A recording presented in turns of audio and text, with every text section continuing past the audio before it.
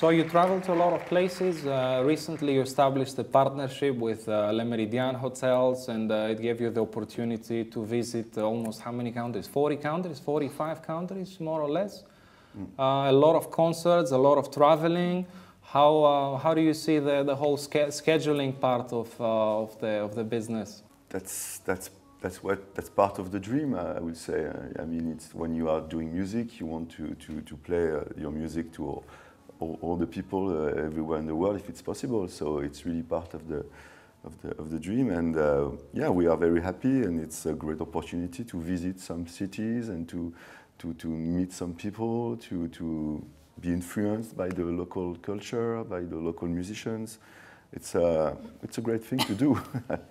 we are very, we're very lucky. Mm. Yeah, actually, it's a, it's a real partnership with Le Méridien.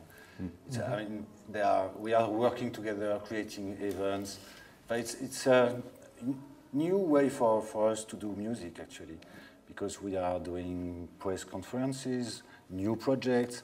We are developing some playlists especially for them. So they played in the lobbies and everything. And we play some kind of different concerts for Le Méridien. We are, gonna, we are working Sexy together. elevator music.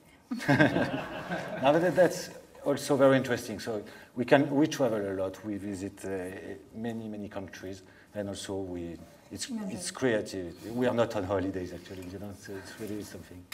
Mm -hmm. Maybe so, not. So if I just walk in in any Le Méridien uh, hotel, you know, they, they will have uh, your music as, as a yeah. soundtrack in the, and, and right. wow. Yeah. Yeah. Wow, that's, that's amazing.